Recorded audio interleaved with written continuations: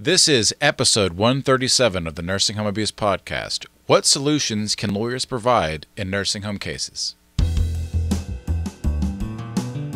The Nursing Home Abuse Podcast is dedicated to providing news and information for families whose loved ones have been injured in a nursing home. Here are your hosts, Georgia attorneys Rob Schenk and Will Smith. Hey, out there, welcome back. Hope you had a pleasant Thanksgiving. My name is Rob Schenk, And I'm Will Smith. and we are your hosts for this episode. Coming at you, um, kind of on the fly. We had a we had a guest that we had scheduled in this time to interview, and they were unable to make it. So this is going to be what you would call off the top of the dome type of episode. Um, and we kind of we were spitballing. We kind of brainstormed a little bit, but Will came up with the concept of talking about what um, someone could expect from a nursing home uh, trial or arbitration, and what it, what the civil justice system can't do. Um, so we're gonna kind of unpack that and talk about that. So um, this is a good topic because people call, we, and we talk to people on a daily basis that have had a loved one in a nursing home that has uh, encountered some sort of adverse situation, and they want they want a solution. I mean, that's why they're calling attorneys. And people often tell us, you know, this isn't about the money. It's really just it. This is not right. We we want them um, to not do this anymore. We want them to change the way that they're taking care of um, of our loved one. Um, and what people have to remember is that we can only get one solution. We can only we can only achieve one thing in a court of law against a nursing home, and that is an award of money of monetary damages. We can't get the nursing home to we can't have a judge decide that a nursing home has to do A, B, and C. So we can never sue a nursing home and then have a judge or a jury say, all right, well, we've decided in the plaintiff's favor, and from now on, you will have to do X, Y, and Z when you have new residents, or you will have to take care of them in this way. It, it's just not in the court's purview.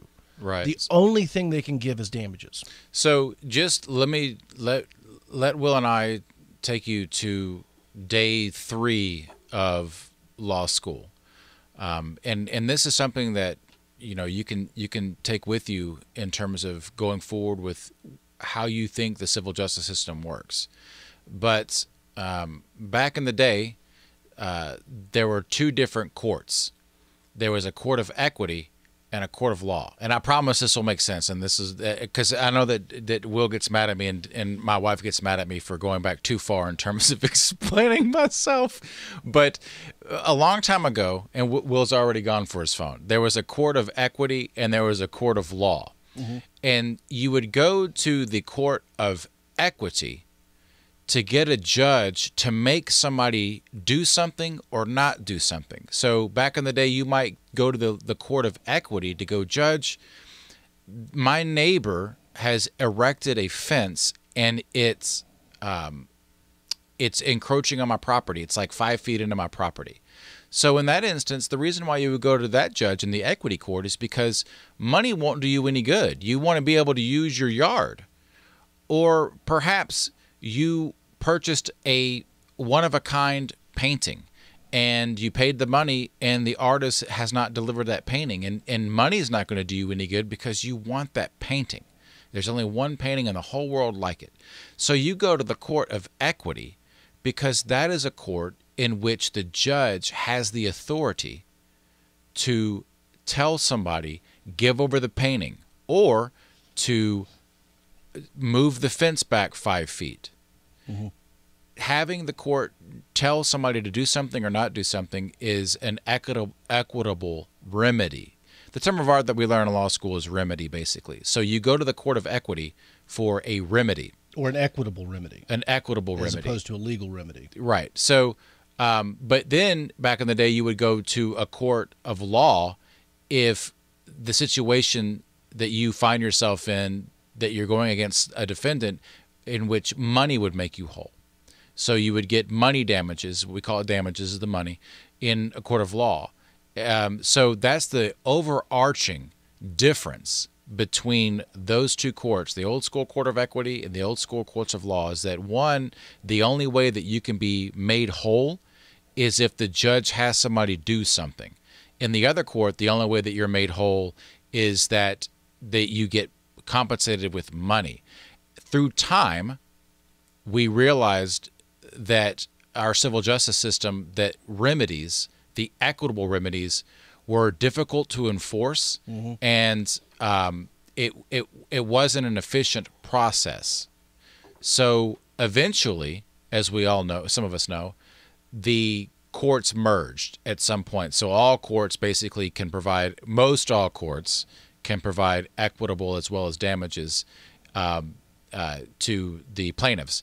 However, in that process of these courts merging, most courts now disfavor equitable remedies to the point where if there's any way that money damages can make you whole, Right. they're going to award money damages. And through the time, that means that if I rear end somebody um, and I hurt them and I damaged their car, 500 years ago, maybe I'd go to the equitable uh, court of equity, and the judge would go, "Okay, now you ram his car and you and you hurt him." Or or you go you go till his field and and plow his field what because he's now injured because you guys had an accident. Exactly.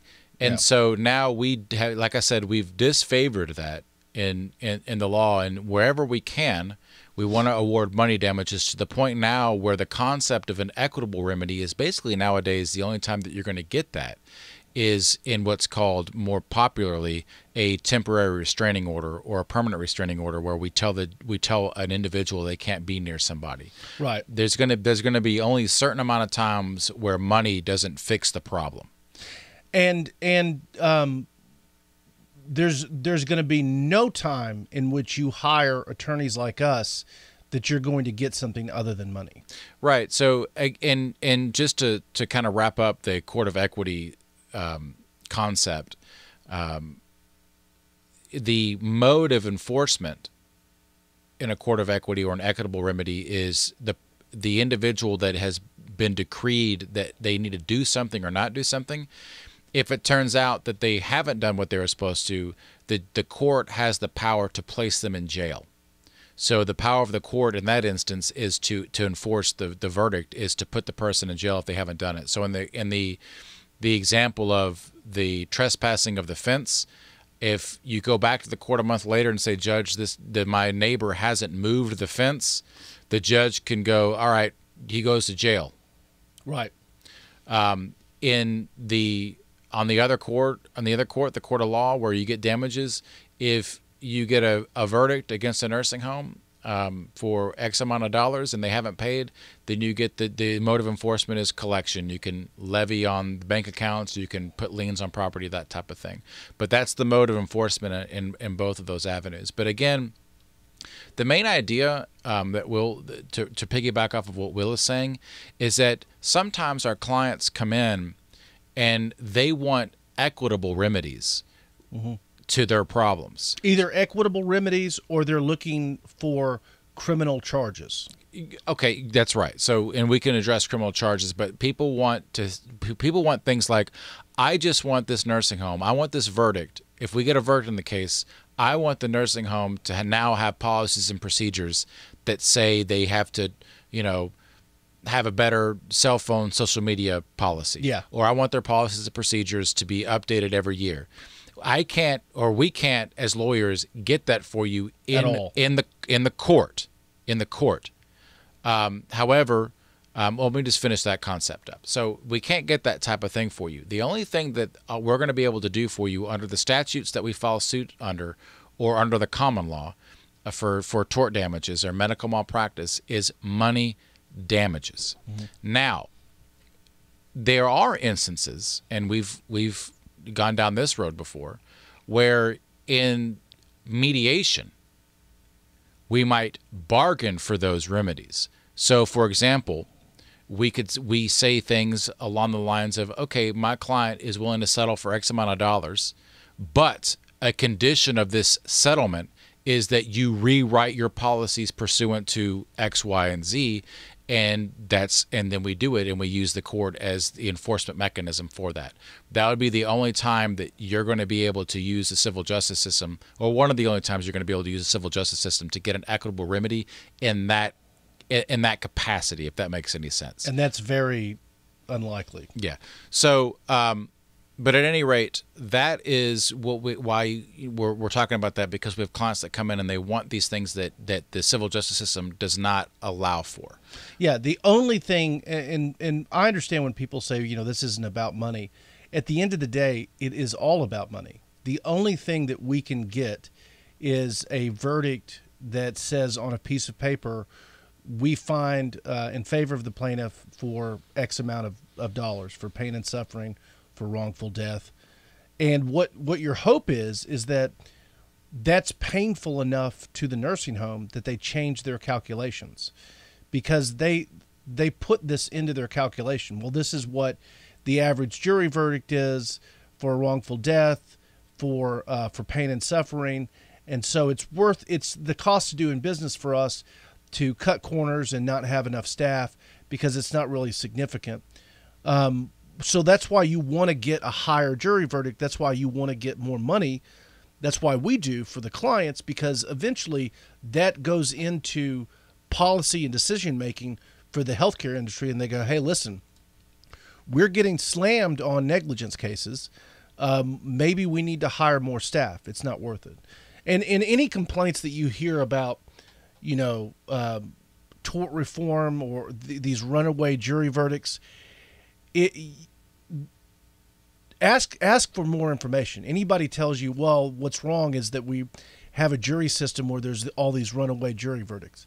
How many jury verdicts are they talking about? I guarantee you, nobody who makes those complaints has any numbers. Um, there are tens of thousands of of cases filed in, in the nation every year very few jury verdicts. There really are. I mean, in the, in the overall grand scheme of of litigation here in Georgia, there are even fewer nursing home jury verdicts, um, and, and that that's something that needs to change. But at the end of the day, we also can't do anything criminal, and this is um, this is something that confuses a lot of people because I would tell them, you know, I I have a private practice and I do criminal law and they would ask me, "Do you do prosecution or defense?" Um, which is a strange question to me because the government does the prosecution.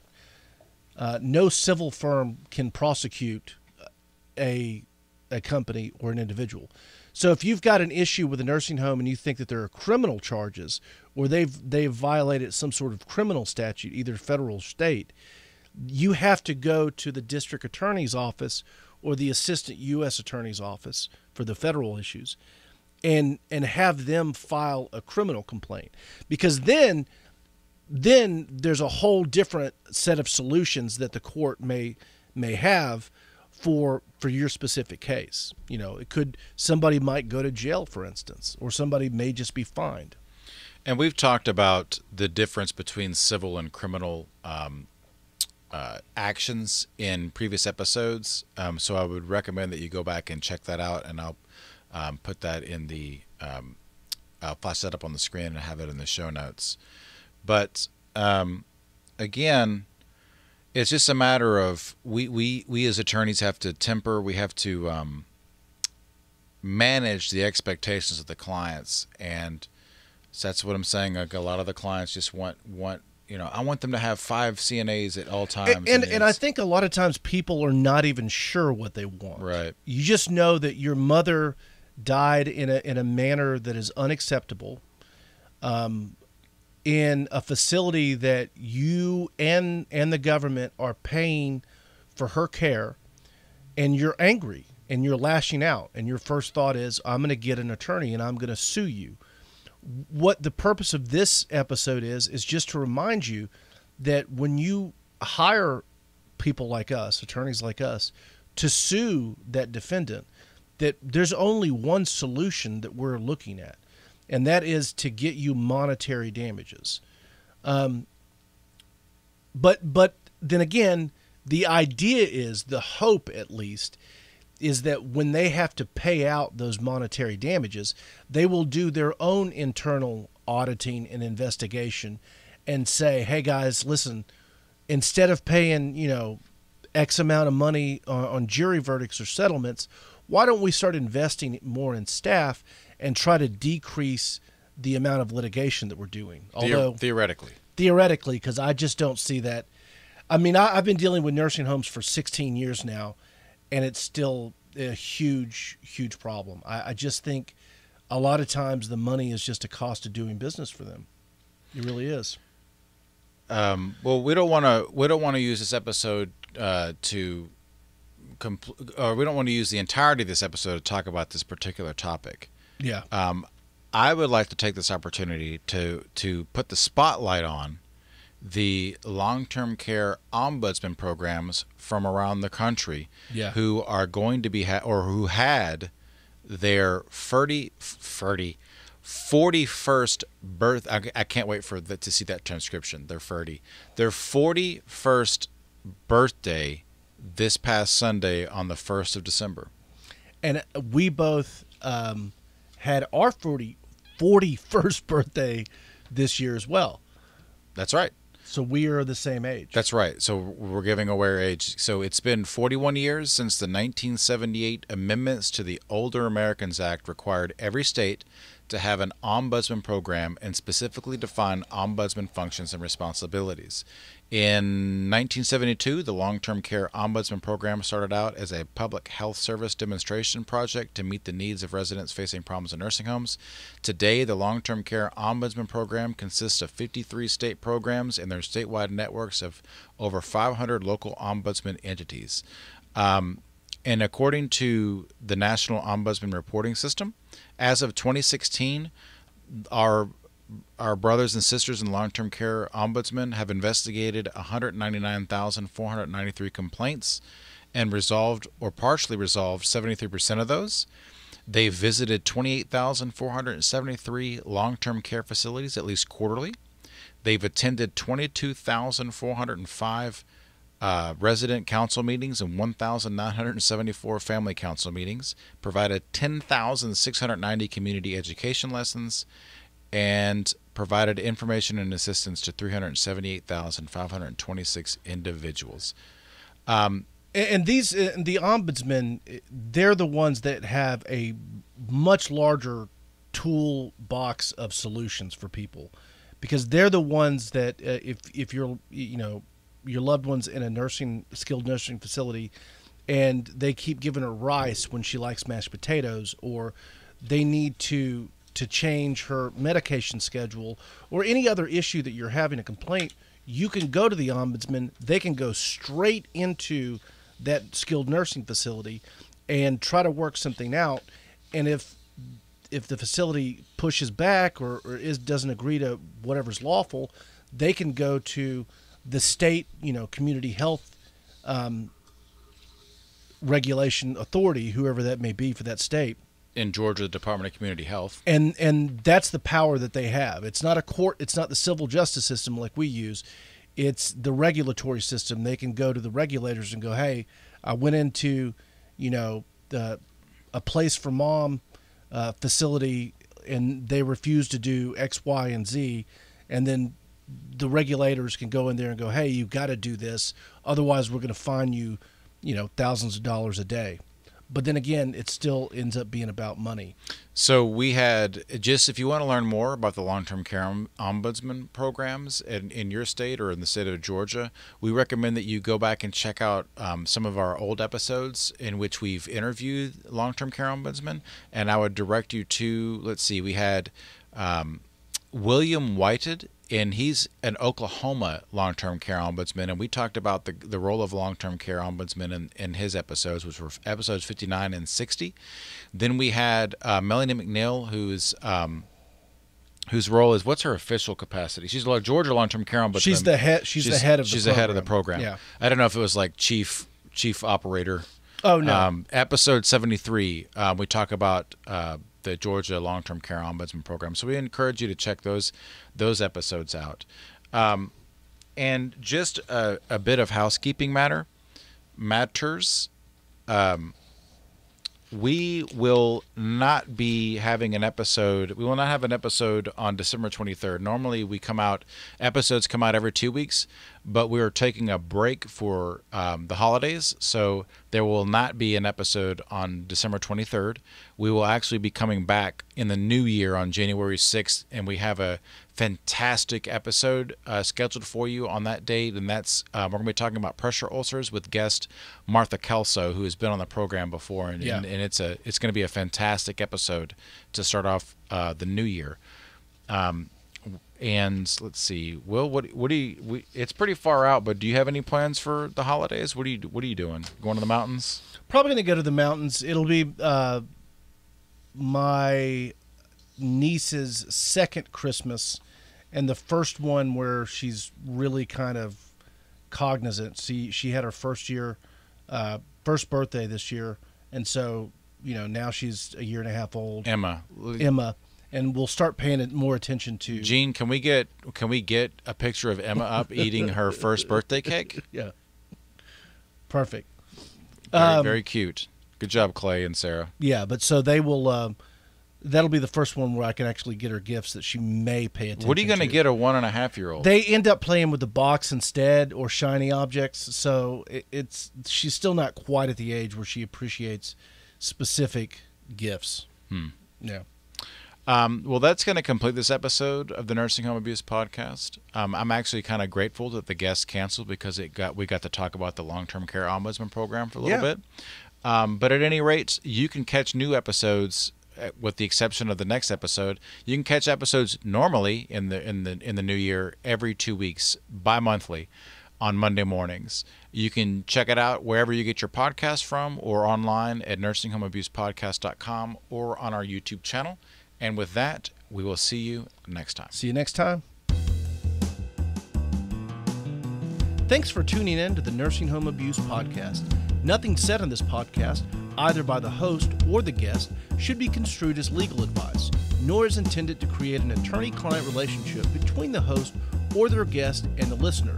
New episodes are available every Monday on Spotify, iTunes, Stitcher, or on your favorite podcast app, as well as on YouTube and our website, nursinghomeabusepodcast.com. Again, that's nursinghomeabusepodcast.com.